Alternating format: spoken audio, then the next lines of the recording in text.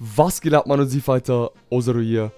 Und ja, ihr habt es wirklich richtig gelesen. Ultra Instinct Goku kommt morgen ins globale Dokkan Battle am 21.12. um 5 Uhr morgens, um es genau zu sagen, um 7 Uhr morgens nach der Wartung. Es gab ja die erste Wartung, die ist gerade vorüber gewesen, deswegen äh, konnten die Leute mal in die Daten schauen, zum Beispiel unser Boy Nordex oder DBZ Space, Shoutout an sie natürlich. Und da wurde in den Daten erstmal dieses folgendes geleakt, entdeckt. Ähm, das ist von DBZ Space, denn die Awakenings von den Charakteren, auf die wir lange warten, kommen. Zudem aber auch, diese kommen um 1 Uhr morgens, 21.12. 1 Uhr morgens. Zudem Goku Ultra Instinct Sign. Unser Boy Ultra Instinct Goku kommt tatsächlich schon so früh fürs globale Dokkan Battle. An der Stelle, heute Abend im Stream werden wir das Ganze diskutieren. Wäre cool, wenn ihr einschaltet, 19 bis 21 Uhr. Mhm. Dieser Junge wird um 5 Uhr morgens, ist um 5 Uhr morgens äh, released angekündigt. Warum? Wir nehmen diese Zeit, 8 pm, 20 Uhr abends, äh, amerikanische Zeit so gesehen, und tun 9 Stunden drauf. Das wäre 5 Uhr morgens bei uns. Jedoch gibt es die Wartung, sprich, wir können um 7 Uhr nach der Wartung, ab 7 Uhr mit ihm rechnen. Dann kommen auch noch spezielle Christmas Summon Banner. Christmas Summon Tickets werden kommen, Leute.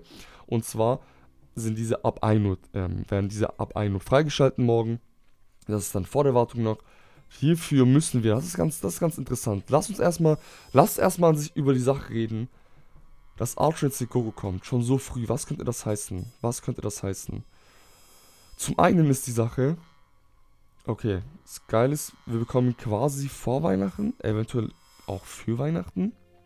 Und Ultra Goku ist ja der Leader der Götter. Dies wiederum heißt, El Vegetto Blue wird in dieser Kategorie sein ist das eben dieser Aufbau momentan auf Ella Vegeto Blue. So, das heißt, ein Ultra Go kommt eben deswegen früher, weil äh, Vegito Blue auch kommen wird, damit er seinen Leader hat, damit alles so gesehen unter einem Dach ist. Interessant, interessant. Mm, zudem, wie gesagt, diese Christmas Summon Tickets, diese werden ab 1 Uhr erhältlich sein. Wie bekommt man sie? Man muss Stages, beziehungsweise was stand hier dran? Man muss die Stages, man muss die Stages der Götter machen, um sie zu bekommen. Einmal, zweimal, dreimal, bla bla bla, bis zu zehnmal, dann bekommt man zehn Stück insgesamt. Zehn Christmas Summon Tickets, die ab morgen schon erhältlich sein werden. Das sind die Events von Fusion Samasu, Vegeto Blue, ähm, wie heißt unser Boy? Kalken Blue Goku, Virus, Rosé und Vegeta Blue. Diese Events machen Sinn, dass man die machen muss für die Christmas Summon Tickets, weil diese Charaktere in der Kategorie von Ultra Goku sind. Ultra Goku ist der Leader der Götter. Realm of Gods heißt seine Kategorie übersetzt. Ähm, worauf ich zurück will, hinaus will. Ich hoffe zum einen, das habe ich hier geschrieben, ich hoffe zum einen, dass wir diese Christmas Summon Tickets vorerst benutzen äh, können, um vorerst nur mit diesen Tickets Ultra Instinct Goku zu summonen für ihn sammeln zu können. Warum? Ähm, es ist halt schwierig, ja, es sind wirklich gute Banner rausgekommen, für die man Stones verschwendet hat. Jetzt kommt out of nowhere ein Christmas Summon Ticket schon so früh mit Archon Goku regelrecht. Wirklich direkt hintereinander zur gleichen Zeit.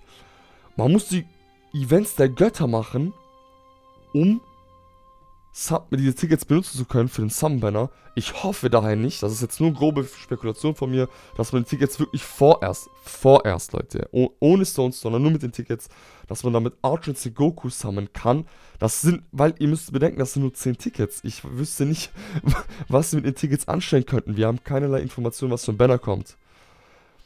Das wäre so das eine. Das nächste wäre, was ich mehr hoffe, dass wir diese Events machen müssen, damit wir eventuell die Medaillen für den für LR Vegeto Blue sammeln können, damit das einen besseren Anreiz hat und diese Tickets-Banner einfach, beziehungsweise die Tickets für einen ganz anderen Banner sind, für einen Christmas-Banner. Das wäre, das wäre, so gesehen, finde ich, ähm, ja, eigentlich besser. Aber guck mal, was da abgeht, da ist ja morgen dann mehr. Zudem gucken wir mal kurz in Dokkan Reddit rein, da sind wie gesagt alle Informationen dazu. Die ähm, ja, ich sag mal, Battlefield Awakening kommen morgen mit den Battlefield-Medaillen. Die Charaktere haben wir gesehen ab 1 Uhr morgens. Archer Goku kommt dann nach der Wartung.